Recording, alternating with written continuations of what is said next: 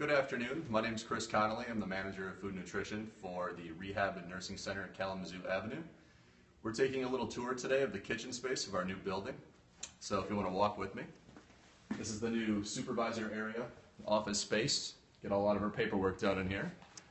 And let's take a look around the kitchen. So we're going to walk over this way. This is going to be a small prep area, storage area.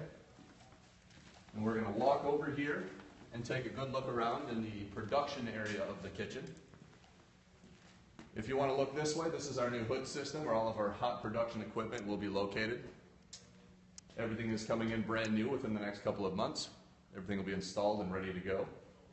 We have two new walk-in freezer and coolers units here. This is the cooler here, freezer here. Everything is stored in there. If you want to take a look inside,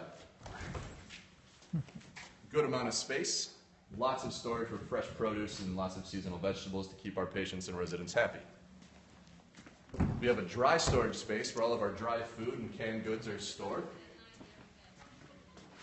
Nice large space, well lit. It's coming along nicely. And we're going to walk over here to our dish room, which doesn't yet look like a dish room, but it will very shortly. Um, lots of area to store things and clean things, and it'll be very nice. And that's pretty much all we have for right now for the kitchen. More things to come, and uh, stay tuned. Thank you.